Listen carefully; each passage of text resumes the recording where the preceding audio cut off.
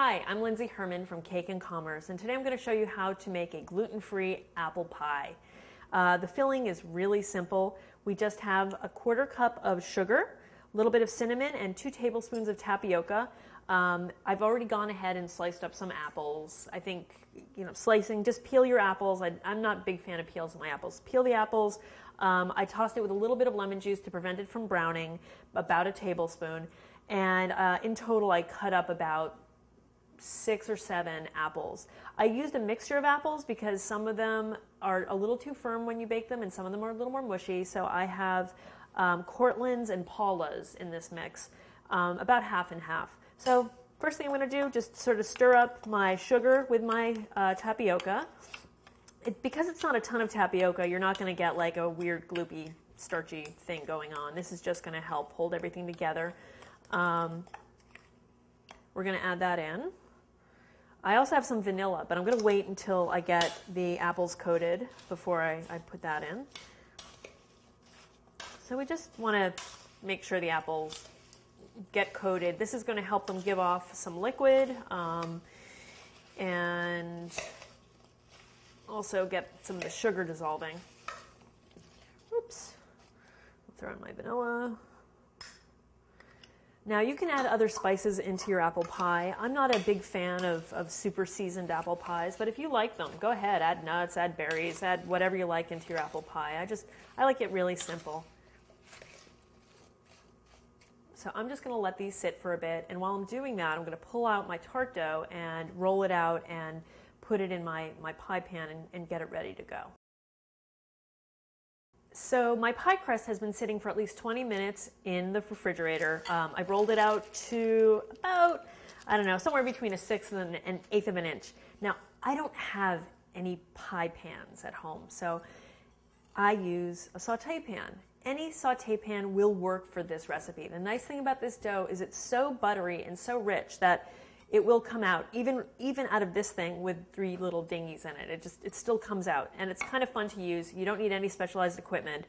And as long as you remember that the handle is really hot, it's a great pan to use as a substitute. So, first thing I do is I place, I leave this on the paper and I just flip it over. It's okay if you get some breakage um, it's really easy to repair this dough. So we're just going to press it in. We're going to try to keep overhang on here because we need to crimp the edges once we get our apples in. Um, and sometimes this, this is fairly brittle dough, so sometimes there is breakage. Don't worry about it. It will work out. Okay, so this is going to be sort of uglyish, but I promise you, it will, it will look good in the end. Oops.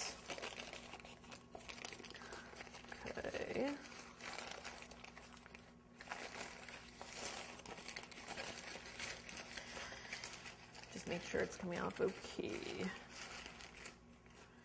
All right, and like I said, um, you will get breakage, but as long as you've got some dough still on the edges, you are good.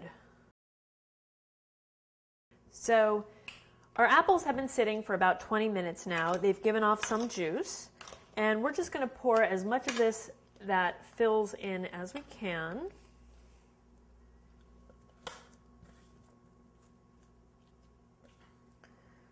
Okay. You know, I like a nice overstuffed looking apple pie. Let's get our liquid in. These are going to cook down a bit, so that's okay. And now we take the other piece of dough that we've rolled out, same thing, flip it over. We're going to go over the top. And instead of pressing it onto the apple pie, we're going to press it onto the edges because that's where we want a little adhesion. Again, it's not going to be beautiful, but we're going to get it to work. Let's make sure we go all around the edge. Okay. And then we lift it off. And like I said, not gorgeous, but it's okay. We're going to fold over the edge.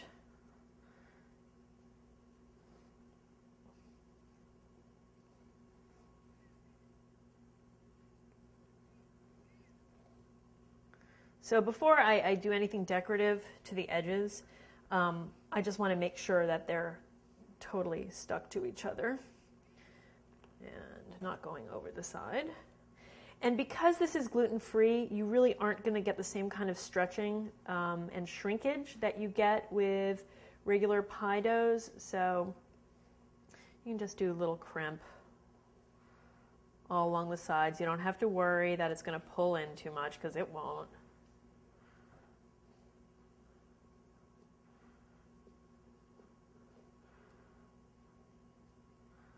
If you like to use a fork instead, you can do that too. Um, that makes for a nice decorative, homey looking edge. This is just the habit I'm in, doing this kind of crimp. Okay. And then we want to give it some vent. We, since there's going to be a lot of steam given off, um, we want to sort of direct where the steam is going to go. We're going to just cut a little hole out of the top. If you like to do a decorative one, please, by all means, go decorative. The last thing we do before we put it in the oven is just give it a little brush um, with some water and a little granulated sugar. Now, Feel free to use an egg wash. Um, I'm not using eggs at all in this recipe, so I'm not going to put any on the, on the wash, and I'm sort of keeping it simple this way. But if you like it a little more richer and a little glossier, go for the egg. So we're going to put it into the oven about 350 degrees for up to an hour. Um, this crust is going to get nice and golden, and um, the we'll know it's done because the juices will just start coming out over the sides and, and we'll be very clearly a little thickened up. So let's pop it in the oven now. After 45 minutes in the oven, I've pulled my gluten free apple pie out. It smells great, it looks great. I can't wait to dig in. Enjoy.